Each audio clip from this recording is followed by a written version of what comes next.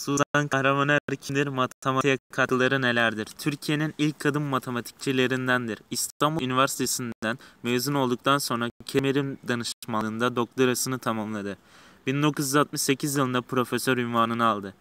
1978-79 tarihleri arasında İstanbul Üniversitesi Matematik Bölüm Başkanı olarak görev yaptı. 1913 yılında İstanbul'un Üsküdar ilçesinde dünyaya geldi. Annesi Müzeyyen Hanım, babası Cerrah Rıfkı Osman Bey'dir.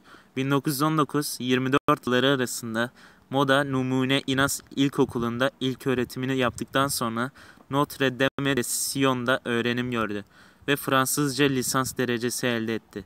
1934 yılında İstanbul Üniversitesi'ne girerek matematik ve fizik alanlarında eğitim gördü. Aliyar, Kermerim, Richard, Van Mises, Hilda ve William gibi tanınan matematikçilerden dersler aldı.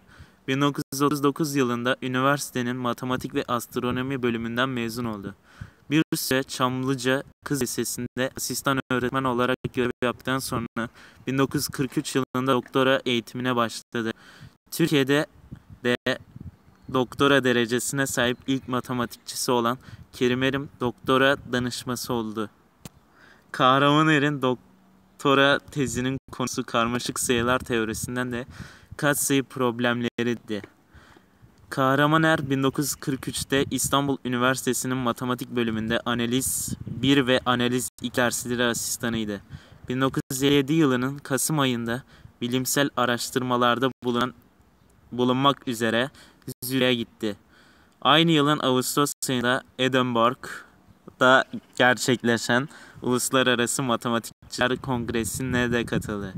1958 yılında İstanbul Üniversitesi'ne geri döndü. 1959 sonbaharında NATO bursu kazandı ve Zürih Üniversitesi'nde bir süre görev aldı. 1960 yılına geldiğinde Stockholm'de gerçekleşen Uluslararası Matematikçiler Kongresi'ne katıldı ve Helsinki Üniversitesi ile Zürih Üniversitesi'nde araştırmalarda bulundu. Benzer kongrelerden birine de 1966'da Rusya'da katıldı. 1968 yılında profesör ünvanı alan Kahraman Londra, Paris, Zürih ve Nice gibi şehirlerde bilimsel faaliyetlerde bulundu. Romanya, Yugoslavya, Yunanistan, Bulgaristan ve Türkiye gibi ülkelerden matematikçilerin katılımıyla gerçekleşen Balkan Matematikçiler Birliği'nin kuruluşunda rol aldı.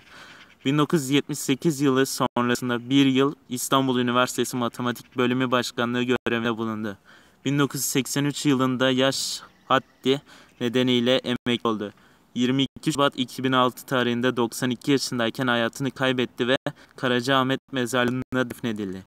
2013 yılında Işık Üniversitesi'nde düzenlenen bir sempozyum sempozyumla anıldı.